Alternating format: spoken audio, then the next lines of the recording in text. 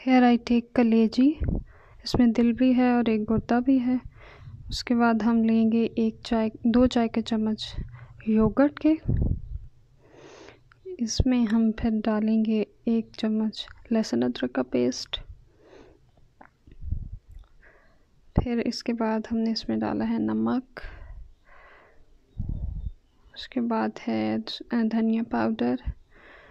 और उसके बाद हम ऐड कर इसमें थोड़ा सा ज़ीरा पाउडर, लाल मिर्चें थोड़ा सा गरम मसाला।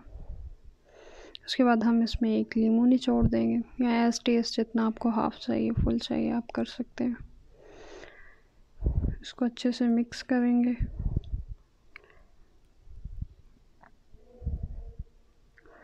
ये अच्छे से मिक्स हो गया है। अब इसको हम कलेजी पे और उस पर लगा देंगे। लगाने के बाद इसको हम थोड़ी देर के लिए मैरिनेट होने के लिए छोड़ देते हैं। जितना टाइम है आपके पास ज़्यादा से ज़्यादा दे सकते हैं टू आवर्स दे दें, बेहतर है। इसके बाद हम लेंगे एक फ्राइंग पैन ये हमने फ्राइंग पैन ले लिया, इसमें टू स्पून्स हमने लिए हैं ऑयल के। मैंने थोड़ा सा देसी घी लिया आप ऑयल ले सकते हैं।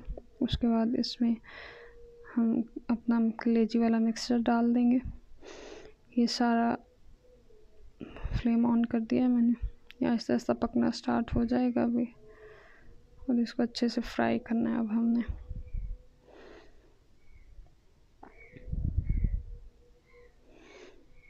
थोड़ी देर के लिए आप इसको ढक के रखें ताकि ये अच्छे से थोड़ा गल जाए।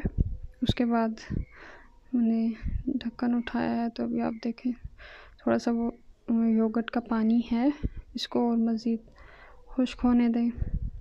चेक कर लें अगर आ, गल जाएगी जैसे अगर नहीं गला तो दोबारा ढक्कन रख के दोबारा बना सकते हैं लेकिन मेरी ऑलमोस्ट हो गई थी तो मैंने ये कर लिया। दैट्स इट कलेजी तैयार है। आप इसको गार्निश कर सकते हैं किसी भी चीज़ से। धनिया पुदीना मेरे बच्चे नहीं खाते हैं इसलिए मैं नहीं डाल रही हूँ। मैं सिर्फ़ ग्रीन चिलीज डालूँगी ऊपर। Look at this how yummy is this? तो ये थी आज की रेसिपी ज़रूर आपको पसंद आई होगी. Thank you Allah half